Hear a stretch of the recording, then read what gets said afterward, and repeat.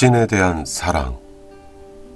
앞에서는 분리의 처음과 여기서 생기는 분리 상태의 불안을 하빌의 경험에 의해 극복하려는 욕구가 사랑에 대한 우리의 욕구의 기반임을 검토했다. 사랑의 종교적 형태, 이른바 신에 대한 사랑도 심리학적으로 말하면 별로 다른 점이 없다.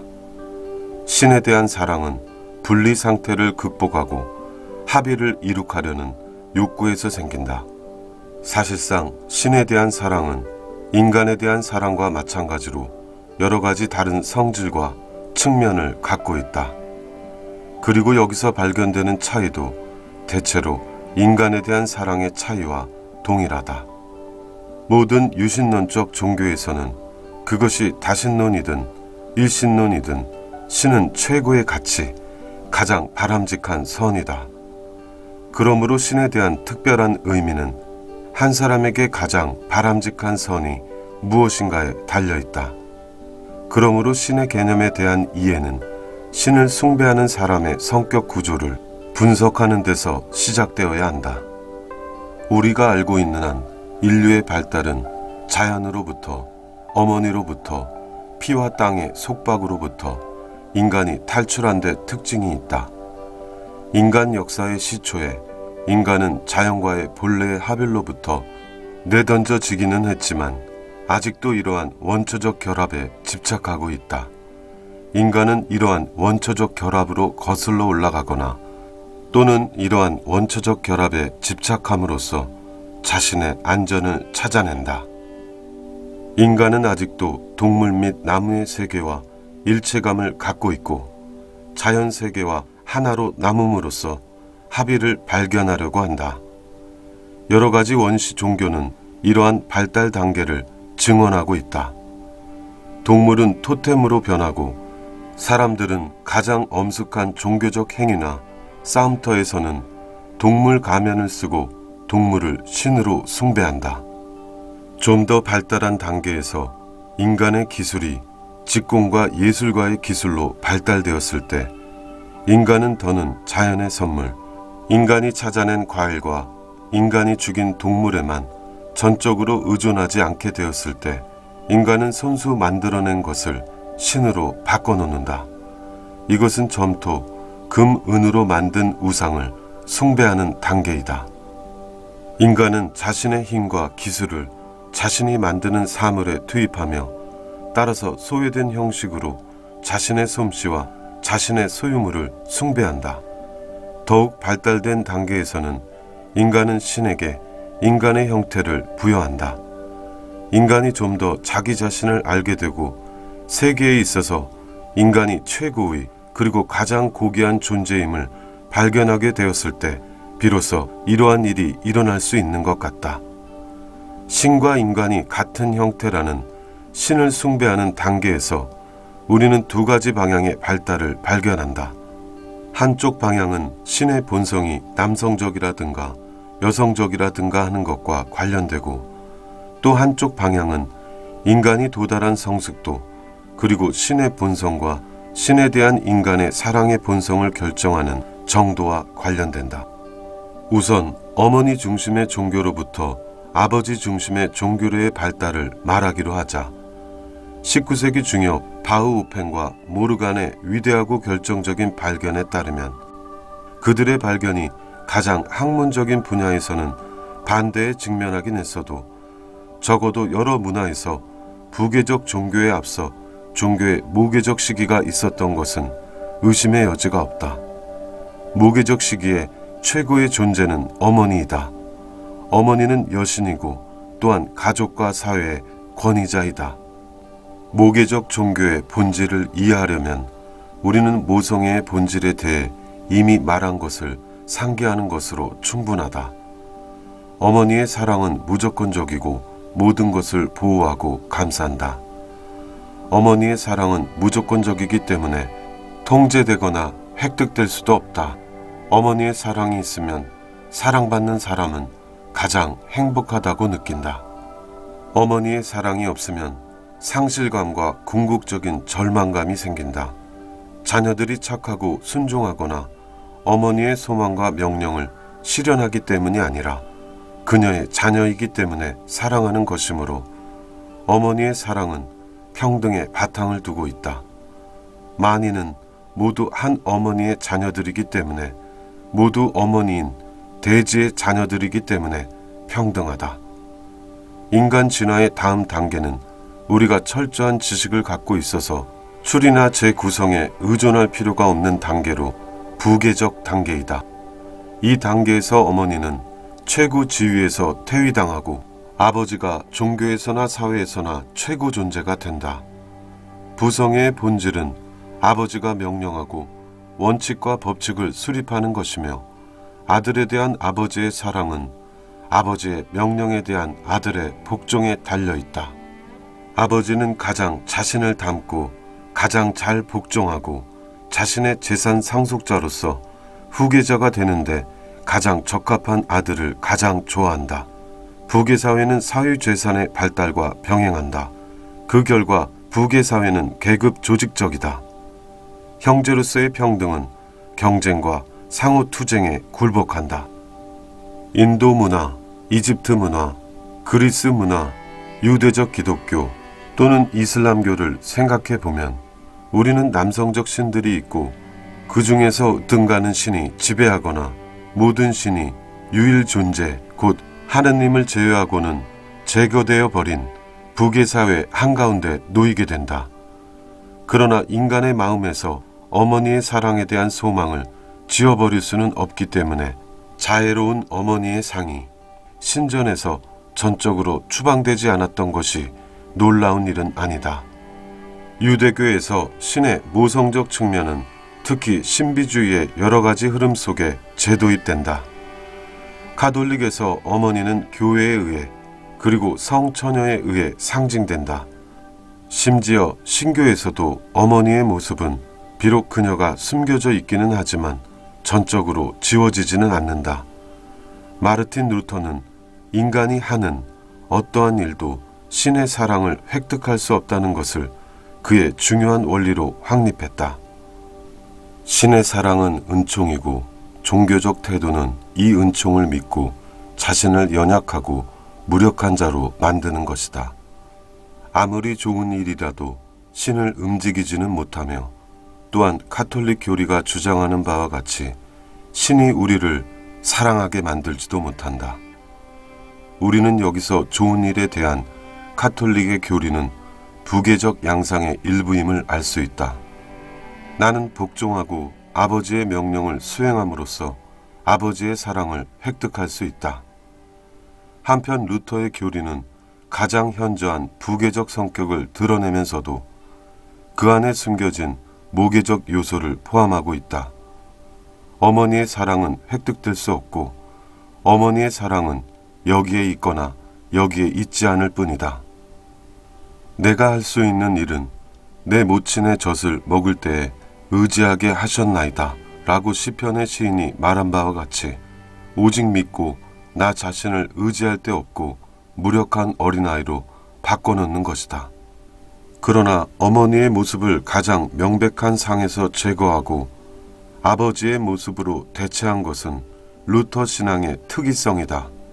따라서 어머니의 사랑을 받고 있다는 확실성 대신에 아버지의 무조건적 사랑을 희구하는 것과 어긋나길 바라는 강렬한 의심이 여기서는 최대 특색이 되었다.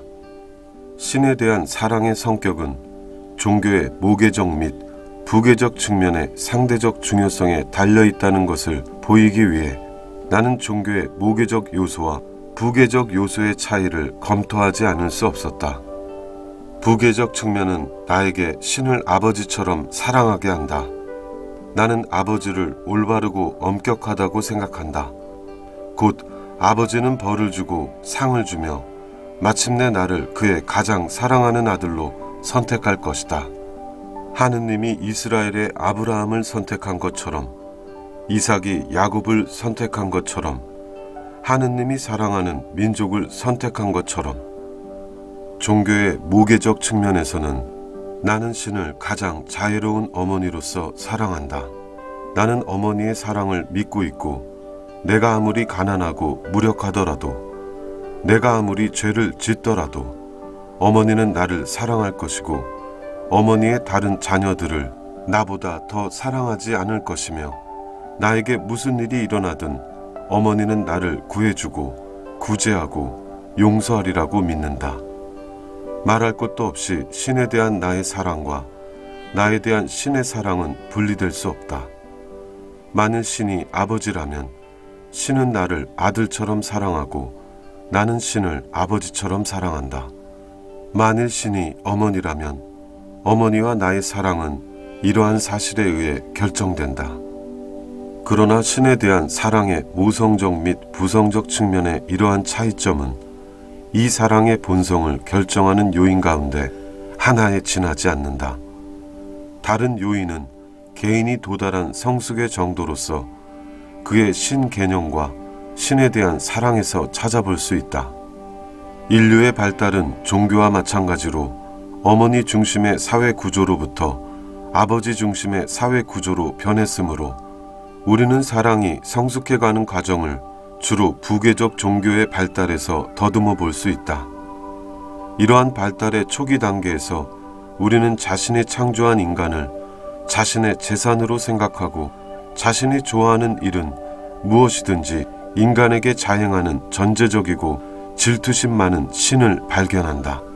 이것은 인간이 지혜의 열매를 먹고 인간 자신이 신이 되는 일이 없도록 신이 인간을 낙원에서 추방하는 종교적 단계이다.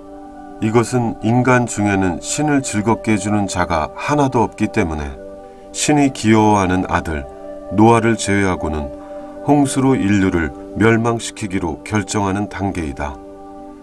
이것은 신이 아브라함에게 절대적 복종의 행위로서 신에 대한 사랑을 입증하기 위해 사랑하는 외아들 이삭을 죽이라고 요구하는 단계이다.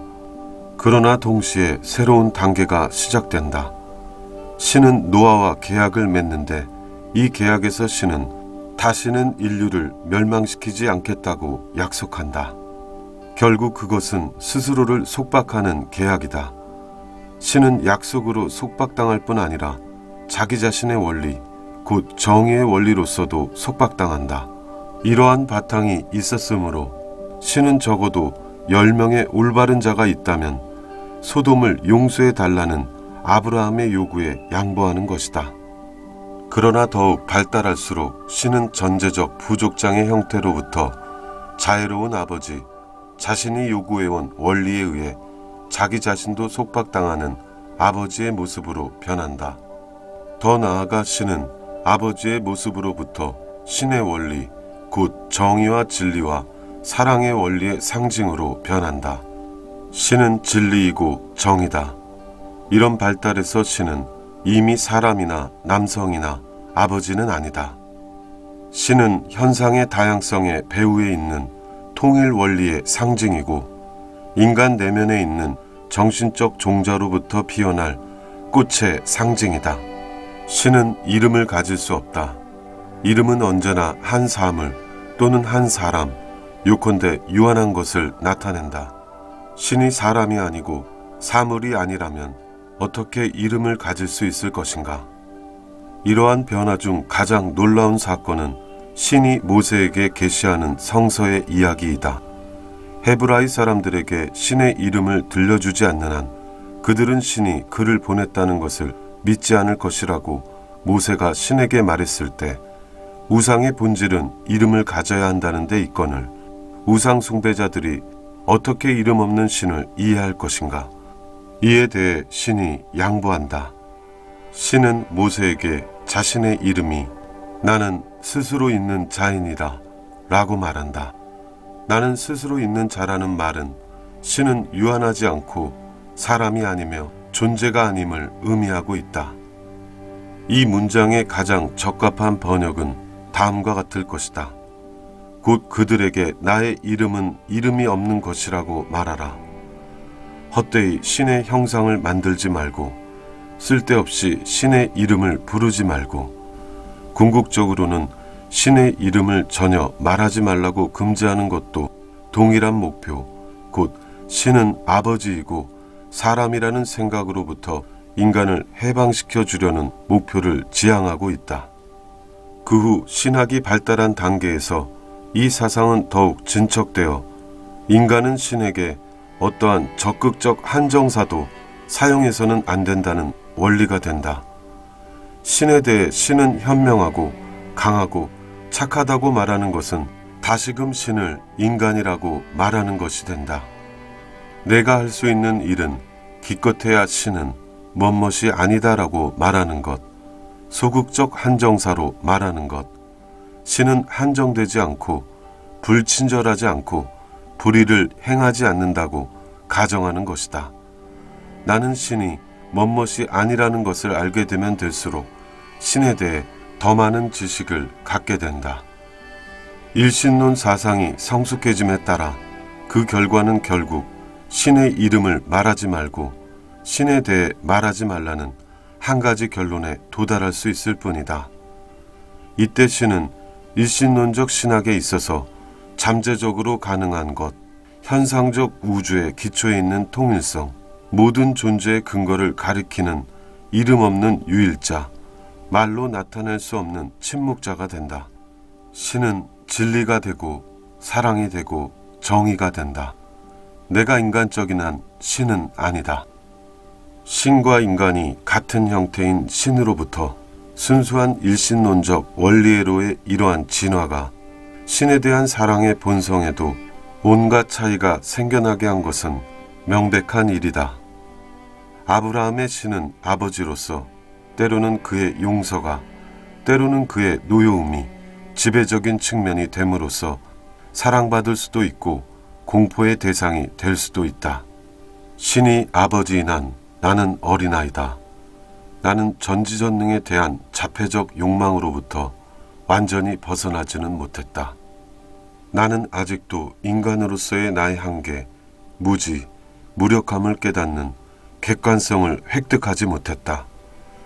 나는 아직도 어린아이처럼 나를 구해주고 지켜주고 나에게 벌을 주는 아버지.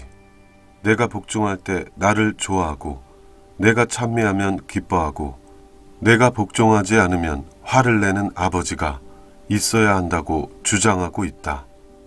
대부분의 사람들이 개인적 발달에서 이러한 유아적 단계를 극복하지 못하는 것은 매우 분명한 일이며 따라서 대부분의 사람들의 경우 신에 대한 신앙은 도움을 주는 아버지에 대한 신앙, 유치한 환상이다. 몇몇 위대한 인류의 스승들, 그리고 소수의 사람들이 이러한 종교의 개념을 극복했어도 이것은 아직도 종교의 지배적 형태이다. 사정이 이와 같다면 프로이드의 신의 관념에 대한 비판은 매우 타당하다. 그러나 프로이드가 일신론적 종교의 다른 측면과 일신론적 종교의 참된 핵심을 무시한 것은 잘못이었다. 참으로 종교적인 사람은 만일 그가 일신론적 관념의 본질에 따른다면 어떠한 일을 위해서도 기도하지 않고 신에게 아무것도 기대하지 않는다. 그는 어린아이가 아버지나 어머니를 사랑하듯 신을 사랑하지는 않는다.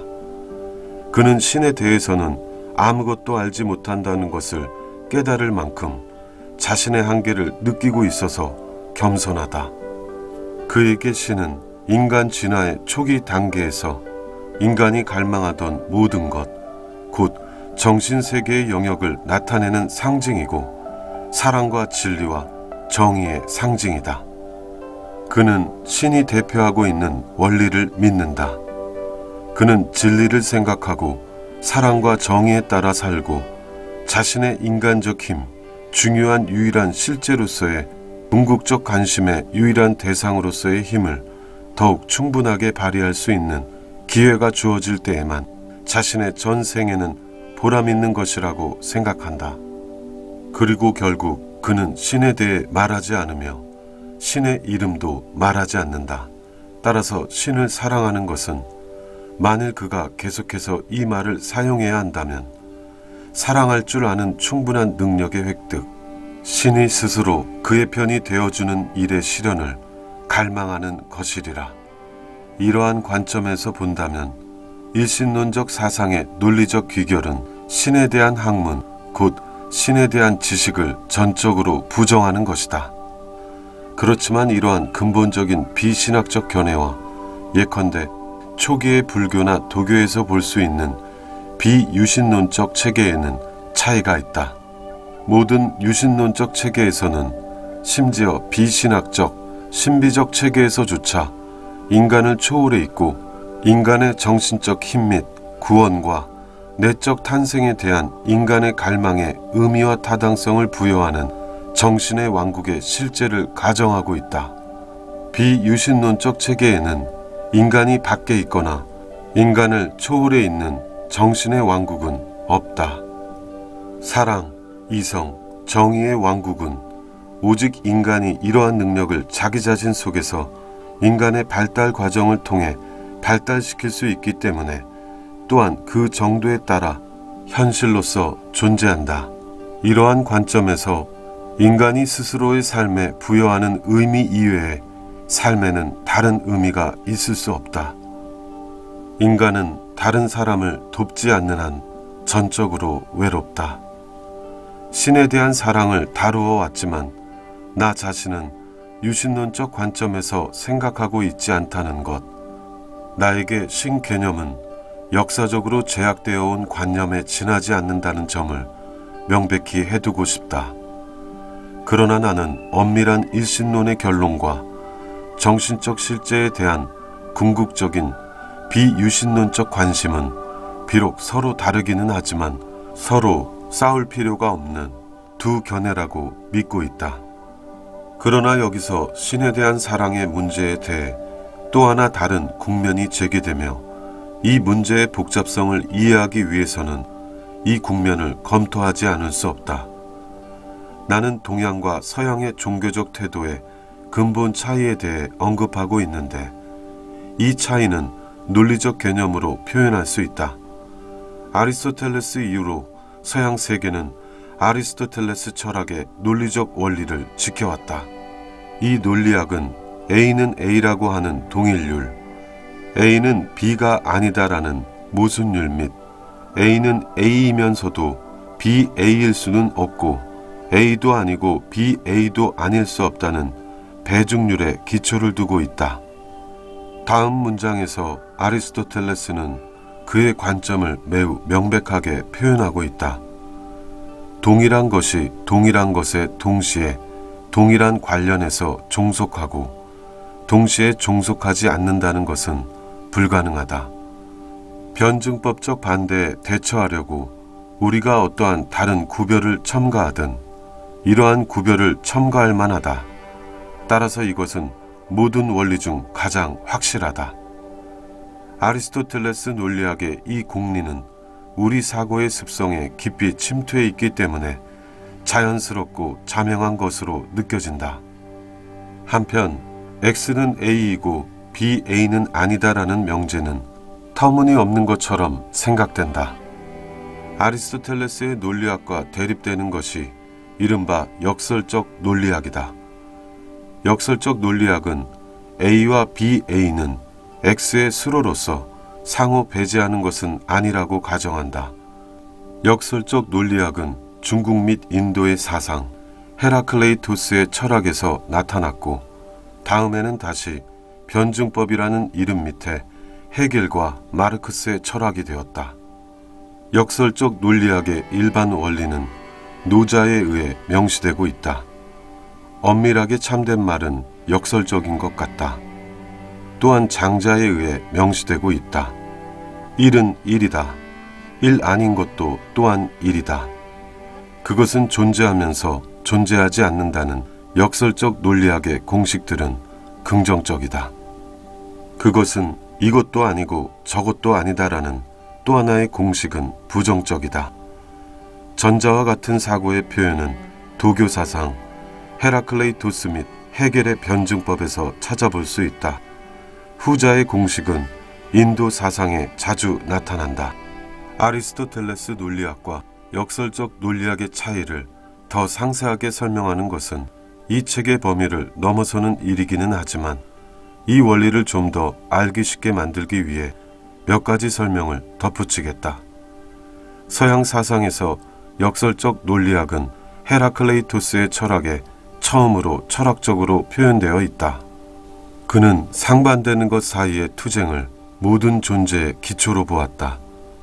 그들은 그 자체에 있어서 투쟁하고 있는 집합 그 자체와 같다는 것, 곧 활이나 하프에서처럼 투쟁 상태의 조화를 모르고 있다.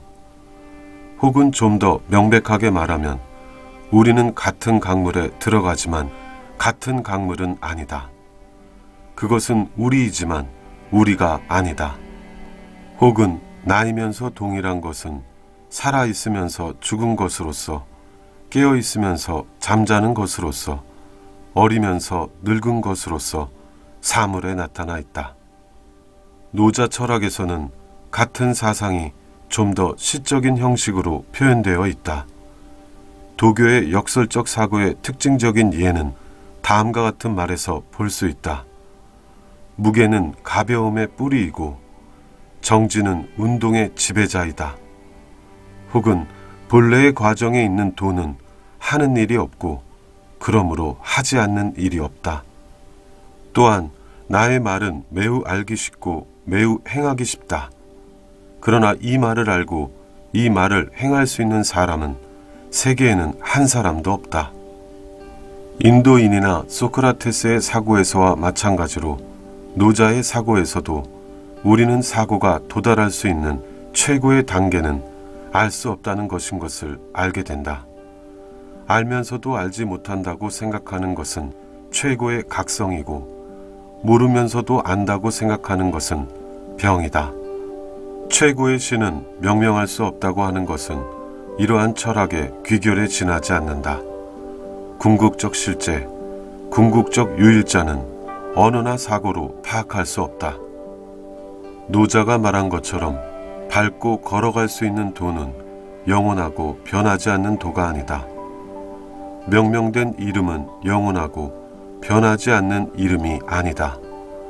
혹은 다르게 표현하면 우리는 그것을 바라보지만 그것을 보지 못하고 우리는 그것을 한결같은 것이라고 명명한다. 우리는 그것에 귀 기울이려고 하지만 그것을 듣지 못하고 들을 수 없는 것이라고 명명한다. 우리는 그것을 붙잡으려고 하지만 붙잡지 못하고 그것을 포착하기 어려운 것이라고 명명한다. 이러한 새 성질은 기술의 주어가 될 수 없다. 그러므로 우리는 이 성질을 함께 섞어서 유일자를 얻는다. 같은 사상을 다시 표현하면 도를 알고 있는 자는 도에 대해 말하려 하지 않고 도에 대해 언제든 말할 용의를 갖추고 있는 자는 도를 알지 못한다. 바라문의 철학은 현상의 다양성과 통일성의 관계에 관심을 가졌다. 그러나 역설적 철학은 인도에서나 중국에서나 이원적 관점과 혼동되어서는 안 된다. 조화는 갈등하고 있는 입장에 있고 이러한 입장으로부터 조화가 이루어진다.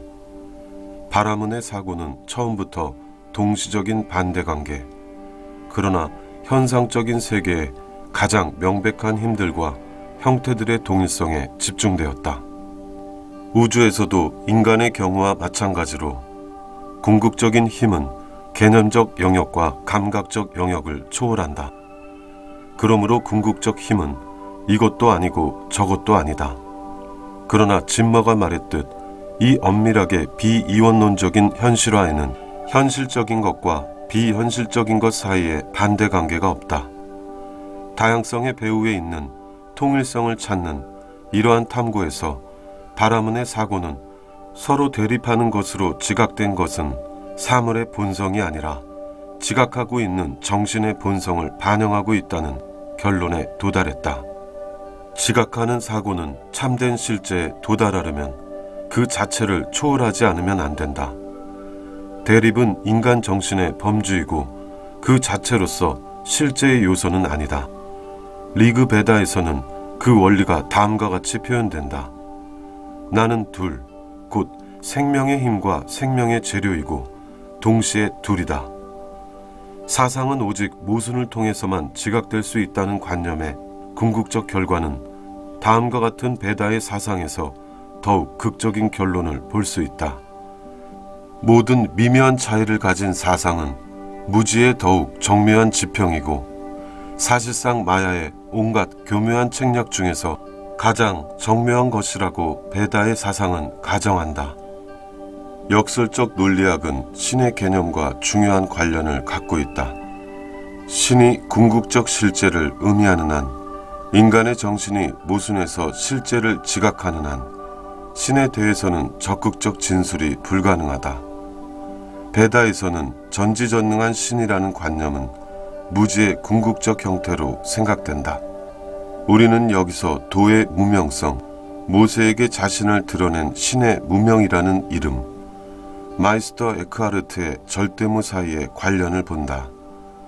인간은 오직 궁극적 실재의 부정적 측면을 알 뿐 그 긍정적 측면은 알지 못한다.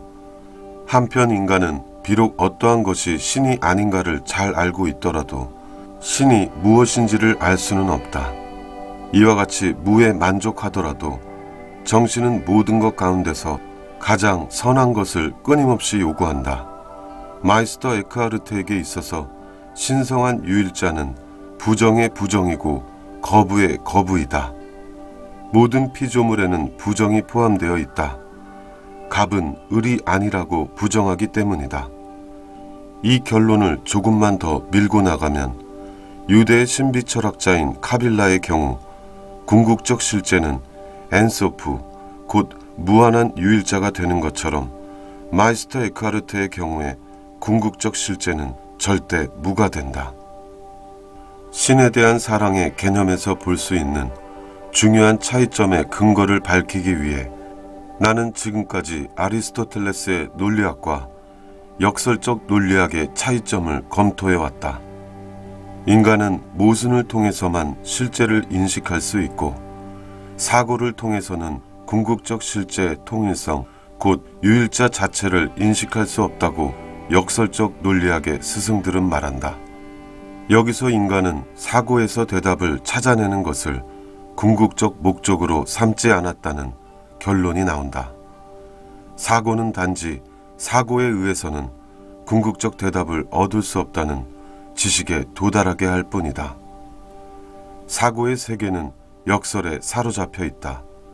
세계를 궁극적으로 파악할 수 있는 유일한 길은 사고가 아니라 행위의 곧 일체성의 경험에 있다.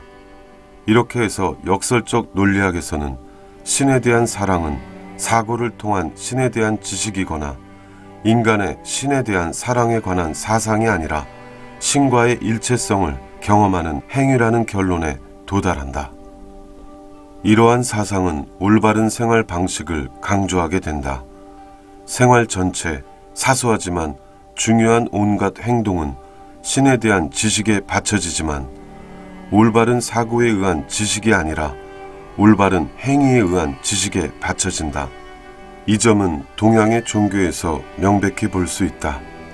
브라만교에서는 불교나 도교와 마찬가지로 종교의 궁극적 목적을 올바른 신앙이 아니라 올바른 행동에 둔다. 우리는 유대의 종교에서도 동일한 점을 강조하고 있음을 알고 있다.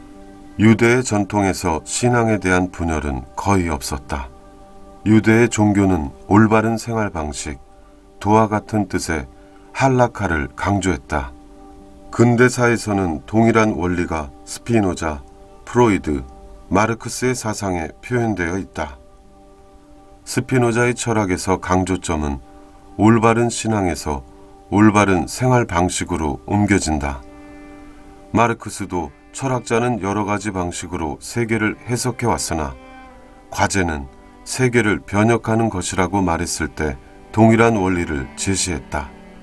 프로이드의 역설적 논리는 그를 정신분석적 치료, 곧 더욱 깊어가는 자아의 체험으로 이끌어간다.